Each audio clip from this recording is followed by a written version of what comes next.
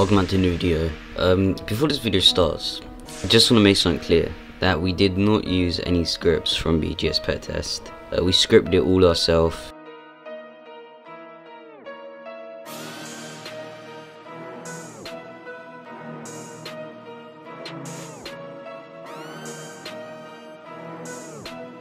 Uh, Dog actually scripted it.